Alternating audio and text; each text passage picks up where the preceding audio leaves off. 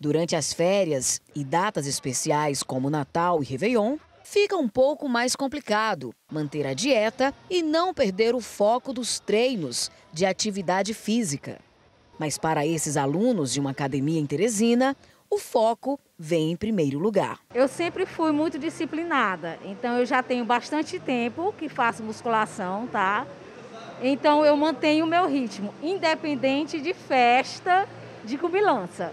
Eu prefiro manter meu foco, não falto os treinos e ainda que apareça aquele piruzinho na, na ceia de Natal, se eu extravasar um pouco, eu procuro queimar bem essas calorias no outro dia. Tem aí Natal, tem as festas de final de ano, tem muita comida boa, mas a gente está buscando aqui realmente qualidade de vida. Então, mesmo sendo muito difícil, a gente tenta sim manter os treinos, principalmente também a nossa alimentação saudável. A gente faz, tenta fazer substituições, né?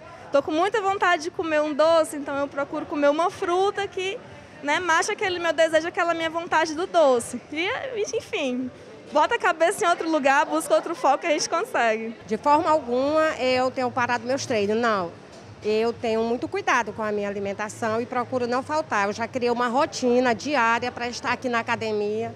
E a gente não pode parar, né? É algo que nos faz bem e o correto é nós permanecer treinando todos os dias. Ter disciplina, né? E saber o que nos faz bem e o que não faz. E ter muita força de vontade, buscar os alimentos corretos, para que você não venha ter exageros, para depois não se tornar mais difícil o seu treino.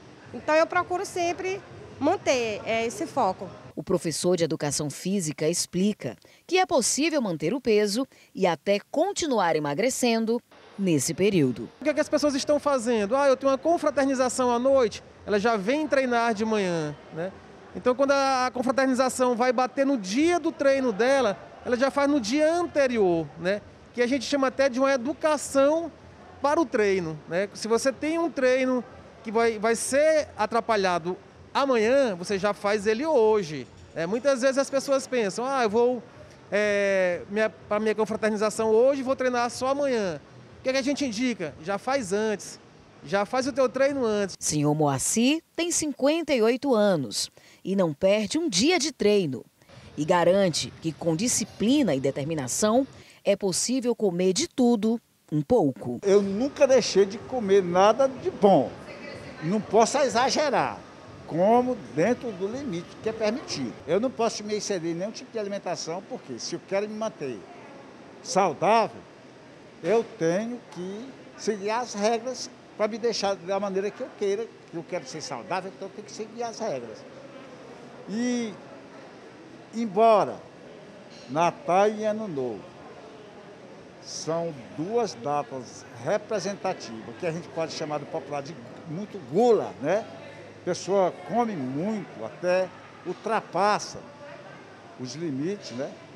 Eu não pretendo ultrapassar, porque eu quero me manter nas minhas atividades físicas e seguir as regras que é estabelecida para isso. Lembrando que quem é sedentário e quer começar a fazer exercícios no final do ano, é importante procurar ajuda de um profissional. Se você vai fazer atividade física, procura a orientação do profissional.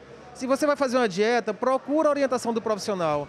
Isso aí não existe uma receita de bolo.